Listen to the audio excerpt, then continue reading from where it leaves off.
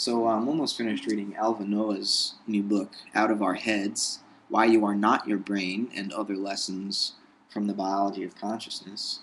Um, Alva Noë teaches at Berkeley, which is pretty close by, and uh, along with several other um, schools and programs, he uh, is someone I might want to study with for my, my PhD. I really appreciate uh, his work, but uh, he is somewhat of um, a radical in the field of cognitive science.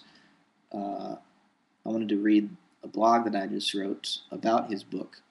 Um, I compare him to uh, the views of Daniel Dennett, uh, which Alva Noë is, is basically criticizing um, a view that is generally quite like Dennett's uh, in his book. So um, I'm going to read my blog. I'll also post a link to it if you want to read it yourself. Um, I have lots of links to some of the words that I use um, and links to videos and whatnot. So if you want to look at the blog, uh, you'll get the background. So it is probably not news to most people that philosophers have a tendency to get stuck in their heads. This is especially true in the field of cognitive science where, for several decades, the dominant paradigm has led philosophers and scientists to look in the brain for evidence of thought and consciousness. The core metaphor guiding this paradigm is that human cognition is computational. In other words, that the brain is a computer. While it may still be mainstream, this disciplinary matrix has a growing number of critics. Those philosophers, like David Chalmers, who take consciousness seriously, point out that even a complete computational account of brain activity, which is itself still far from feasible, would fail to explain why said activity should be accompanied by experience.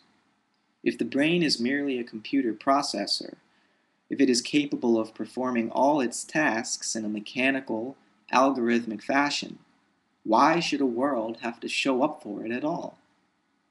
Proponents of computationalism, like Daniel Dennett, who upholds a functionalist version of it, claim that we have too inflated a view of conscious experience.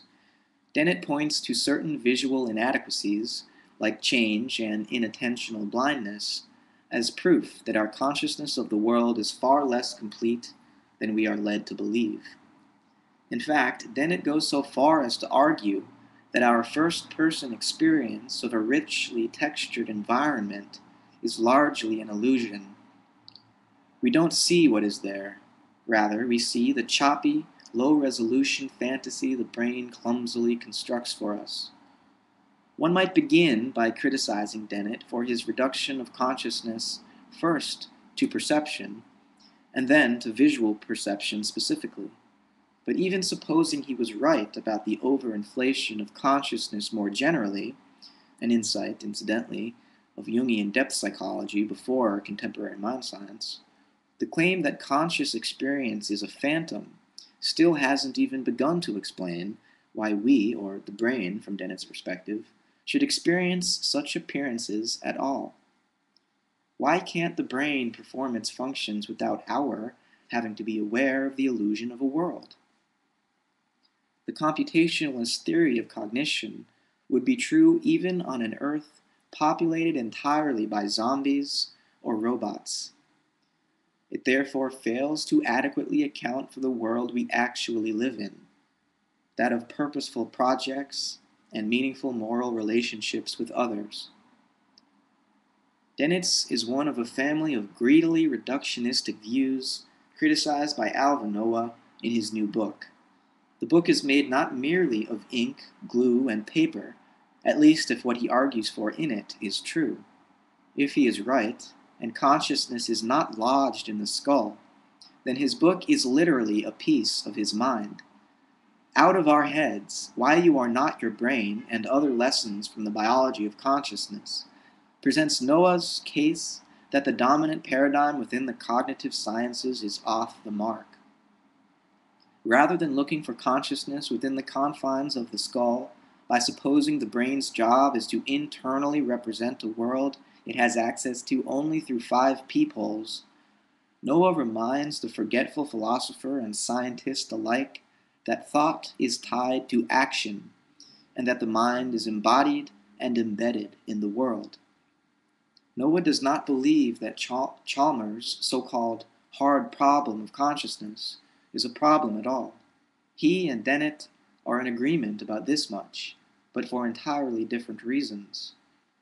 Dennett believes the word consciousness is nothing but a cultural idol that continued neuroscience will soon call down off its pedestal. Eventually, he assures us, the hard problem will go away because we simply won't recognize our conscious experience as anything other than an illusion generated by unconscious neural activity. Noë is of the opinion that, th- that though the brain is necessary for consciousness, it is not sufficient for it. He dismisses the hard problem as the product of misplaced concreteness, a term that comes out of uh, Alfred North Whitehead's work.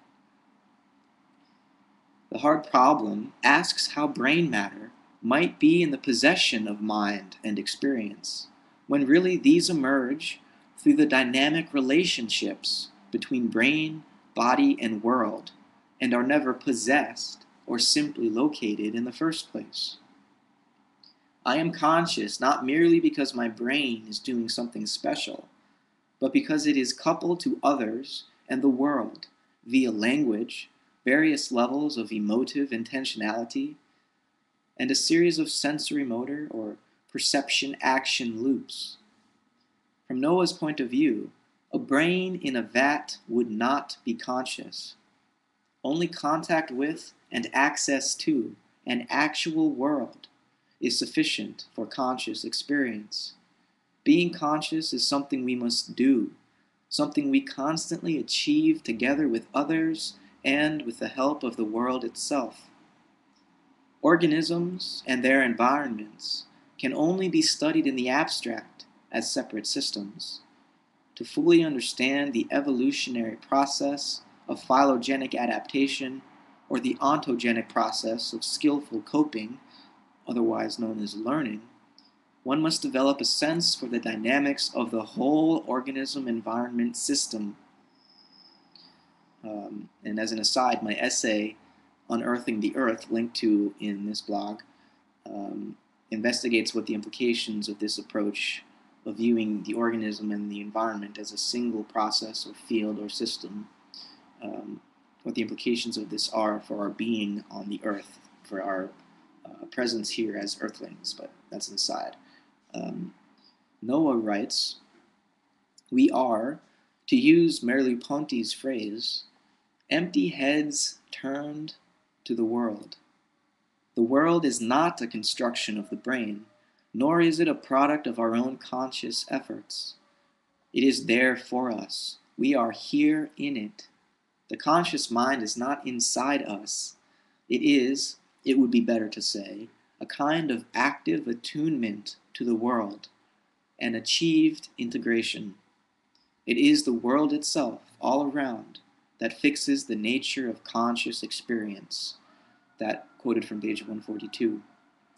The computational approach to consciousness assumes that consciousness is equal and reducible to intracranial neurochemical processes. Noë's rejoinder is a refreshing reminder that such solipsistic misplaced concreteness is, ironically, a product of the same Cartesian tradition most mainstream theorists rail against. That consciousness is located in the brain, that it has no direct access to the real world, but through some internal language of ideas or mental representations. These are thoroughly Cartesian presuppositions. Noë suggests we begin not with the abstract thought experiments of lonely philosophers, but with the lived body and its everyday being in the world among others. Uh, so hope you enjoyed it. And uh, for the background to some of these concepts, uh, visit the blog and you can click on the embedded uh, hypertext. So yeah, thanks for listening.